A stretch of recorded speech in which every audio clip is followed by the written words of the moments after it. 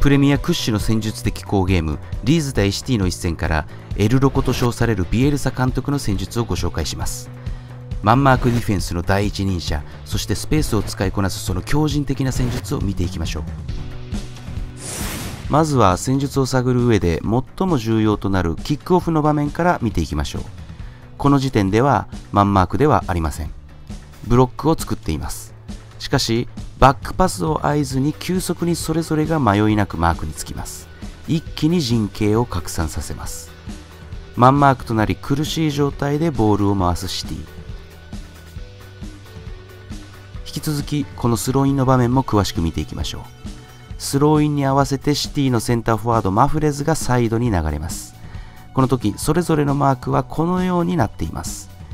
マフレズとスターリングが交差する場面なんですがコッホとアイリングは交差しませんでした。つまりマークの受け渡しをしたということです。このキックオフの場面を見てリーズが単純なマンマークではないということが分かりました。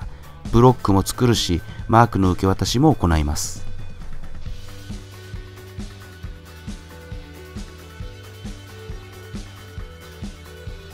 続いての場面です。スローインの場面ですがやはりこのようにマンマークについています。マークについていないコスタはもともと右サイドの選手ですので直前のセットプレーで左サイドに今いますが持ち場である右サイドにポジションを取り直しています。マークについている選手たちはマークの対象とゴールを結んだそのライン上にポジションをしっかりと取っています。唯一マークについていないのは5番センターバックのコッホのみです。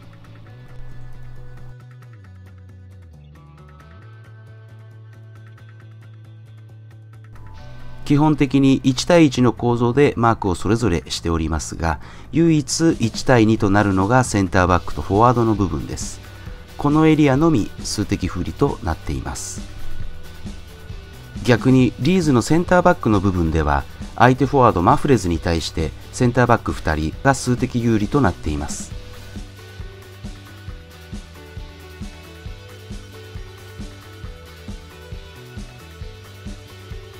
守備の始まりであるフォワードバンフォードの部分で数的不利。そして守備の最後の要であるセンターバックの部分での数的有利。この試合の特徴となる部分です。数的不利の部分をどうやってプレーするか。数的有利の部分をどう生かすか。この2点がこの試合を理解する上で重要な役割となります。続いての場面はシティの守備の場面です。センターフォワードマフレズは攻撃の時にはセンターバックにマークされますが、守備になった時にはリーズの4141のピボーテ23番フィリップスを背中でマークします。シティのプレスはセンターフォワードがピボーテを抑え、その両翼がサイドバックへのコースを切りながらセンターバックへ寄せることでスタートします。この時、右ウィング、フェラントーレスがセンターバック、クーパーまで寄せていますので、実際にパスは送られていませんが、リーズのレフトサイドバック、ダラスはフリーになっています。これはこのプレスの形で発生する現象です。重要な部分になります。実際にはボールは送られていないんですが、このプレスを遂行するということは、このタイミングでレフトサイドバック、ダラスがフリーになるということが現象として発生します。フリーとなりボールを運ぶコッホですが、マフレズがフィリップスへのコースを切りながら寄せます。対角フィードを選択。シティの陣形は左サイドに移動していましたので逆を突かれた形となります。それよりも重要なのは今ボールを受けようとしているロバーツは本来右の中盤の選手です。大幅なポジション移動によりこのエリアでボールを受けることができました。そしてもともとこのエリアでパスをもらうはずだったレフトサイドハーフアリオスキーはさらに1列前に上がっています。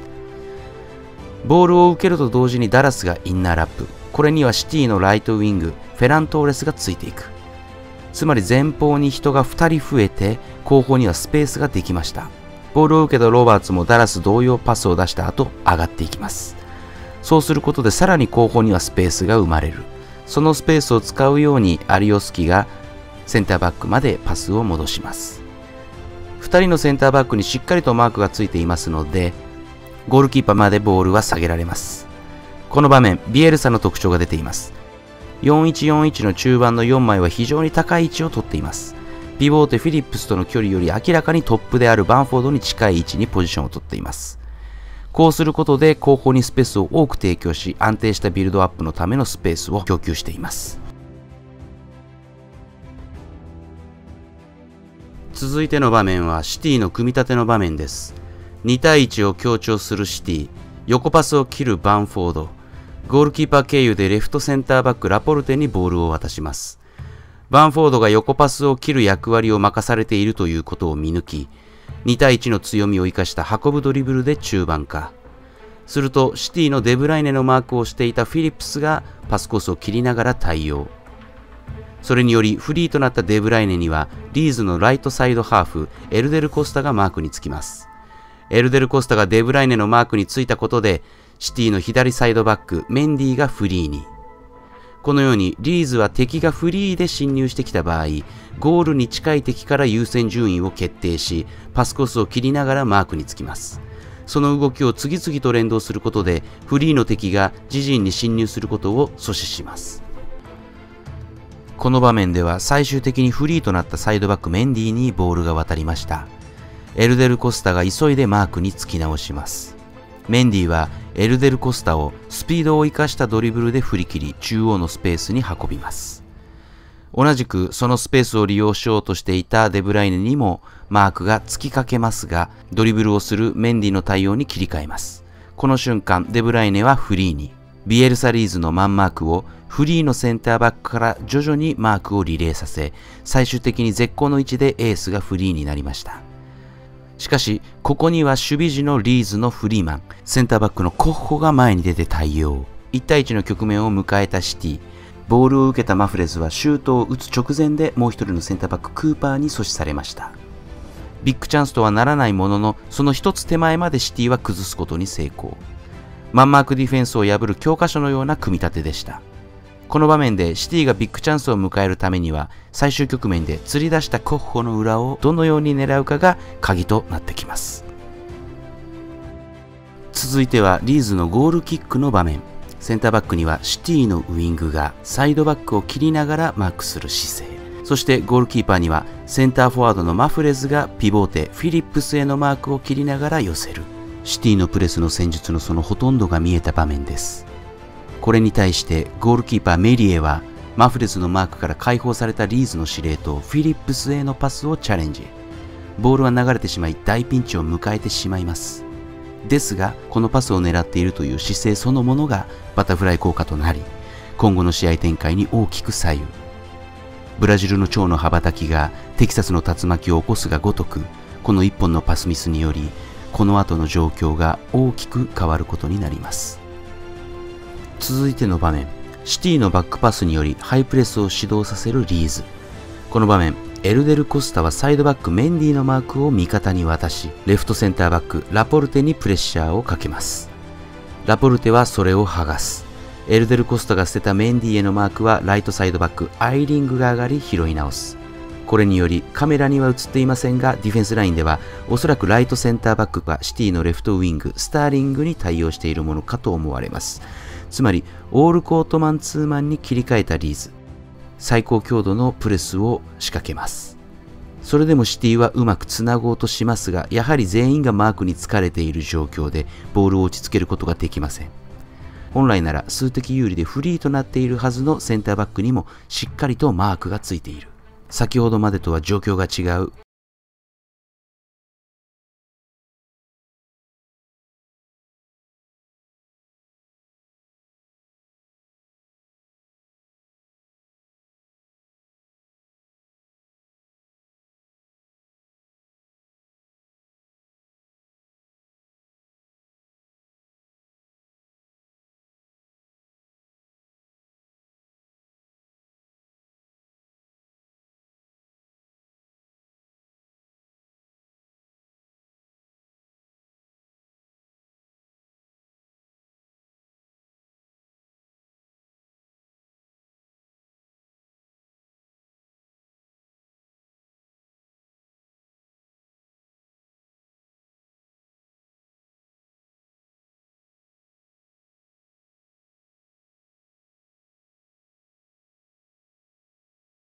個により得点に成功します。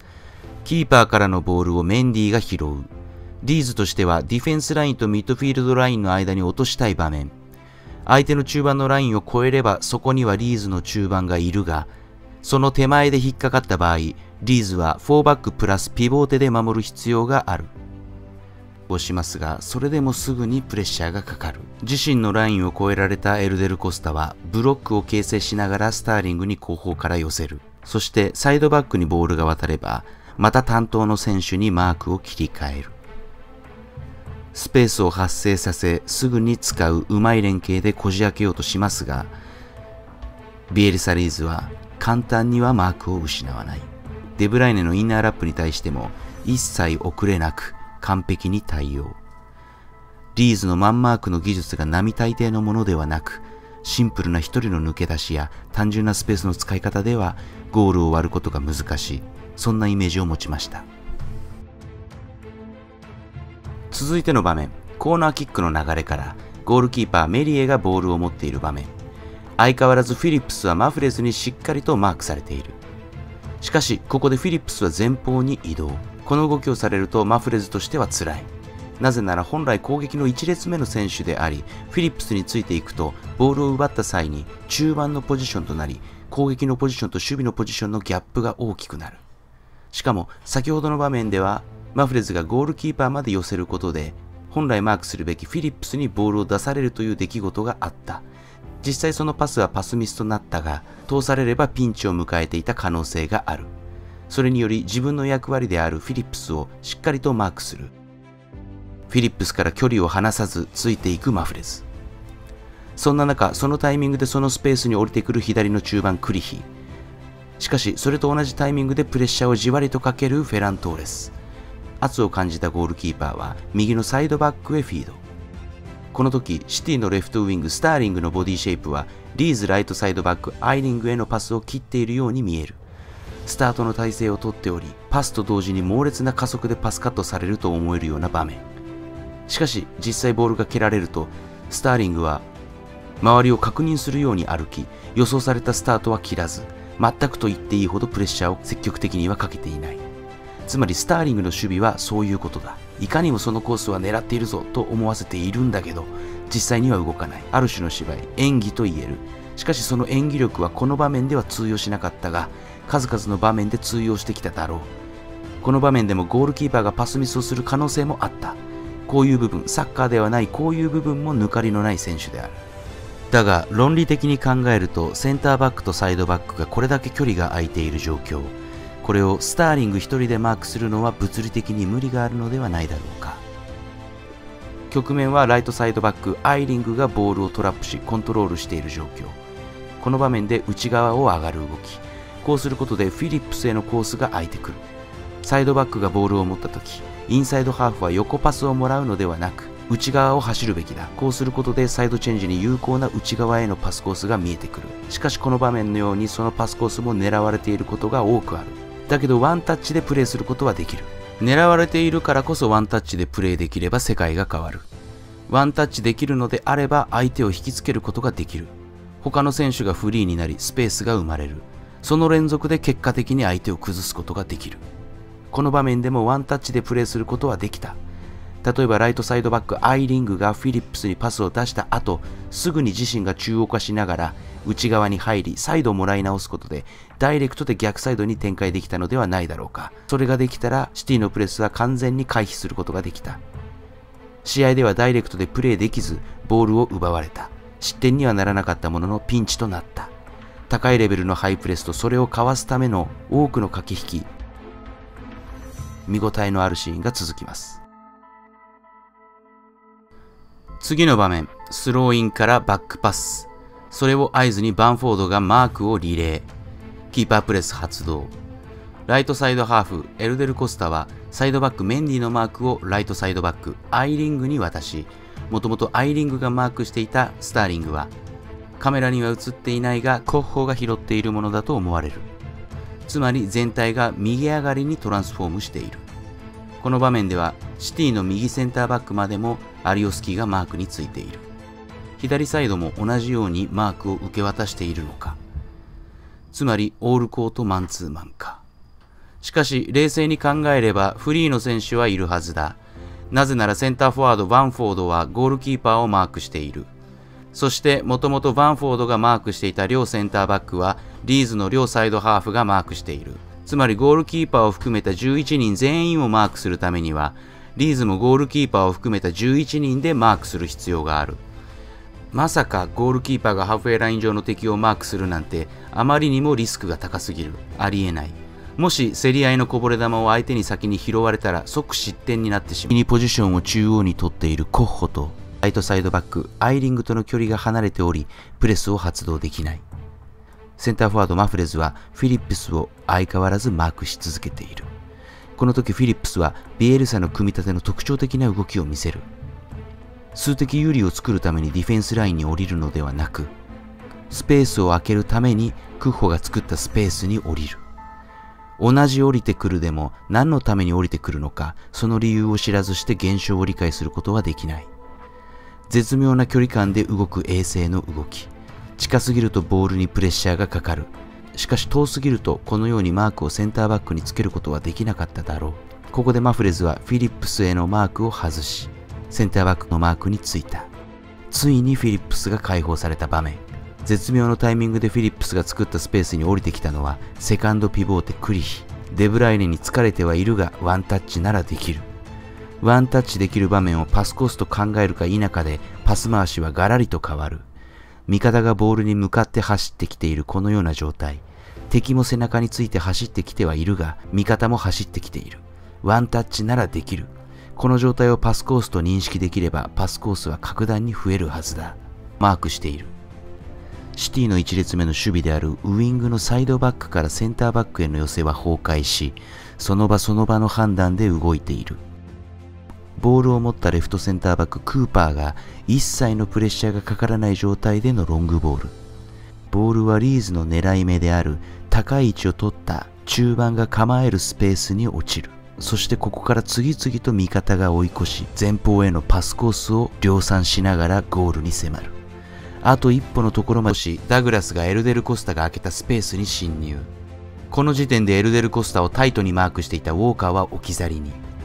追従するデブライネのマークをスピードに乗って完全に剥がす。ギリギリのワンツーによりセンターバックラポルテを引きずり出す。それにより逆サイドメンディはセンターバックのカバーのために中央化。それに伴いフリーとなったポベダへ。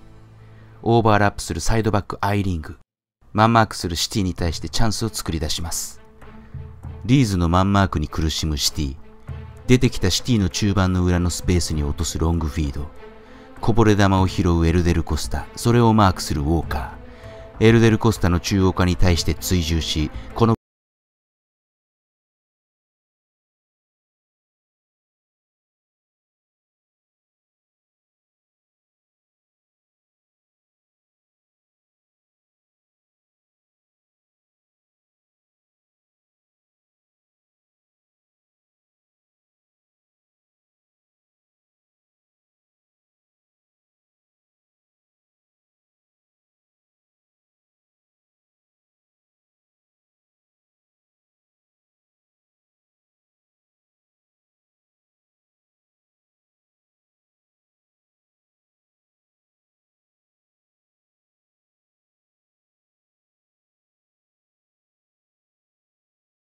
を背中に置きます。しかしセンターバックにプレスがかかっておらず、高精度のフィードをことでシティのラインを1メートルほど前に釣る。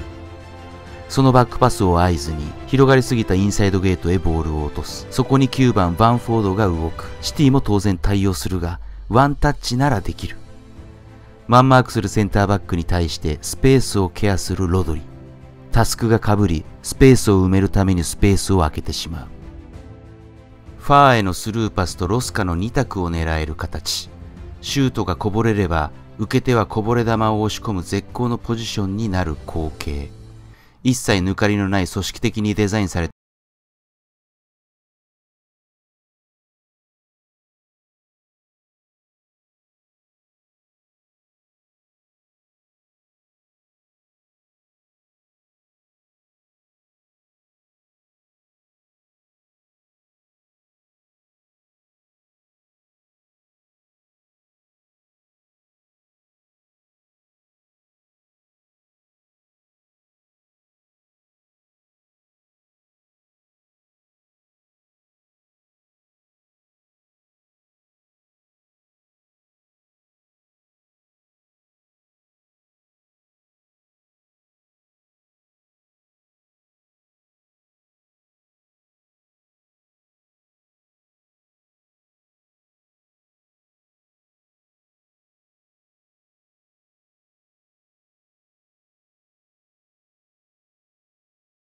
サイドバックが上がることでスペースを作り使うという連動が機能する。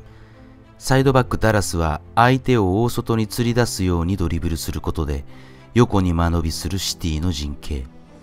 広がったブロックの内側のスペースを利用され、またしてもサイドチェンジを許す。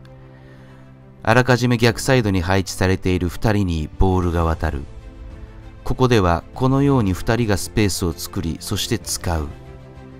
その2人にもう1人加わることで3人目の動きとなりマークがずれる。うまくロドリゴを剥がして中盤で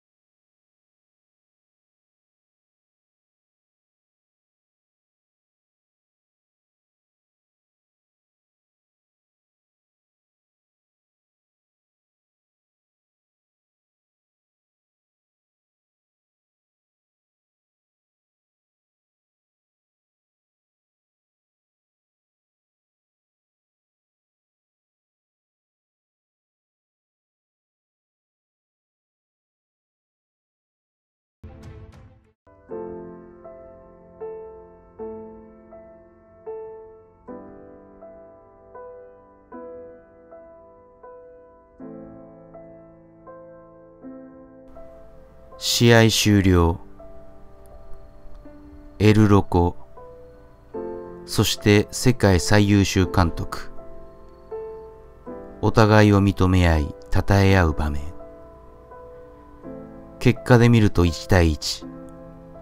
しかし今季昇格組のリーズは支配率とパス本数でシティをわずかに上回り、枠内シュート本数では圧倒的に上回った。徹底された強度を誇るマンマークでパスを回させず、それを効率的に機能させる受け渡しで運動効率を高める。深い位置ではブロックにスムーズに切り替え、堅牢さを手にしている。攻撃に関しては、スペースを作っては使うという動きを連動させ、絶え間ない動きで前方へのパスコースを瞬時に増やす。選手たちは激しいドリル形式の練習から自動的にシチュエーションに応じた動きを行い、はっきりとしたフィニッシュの形を試合の中で何度も再現。予算で大きく上回るクラブを飲み込むその戦術。今後もリーズの試合に期待しましょう。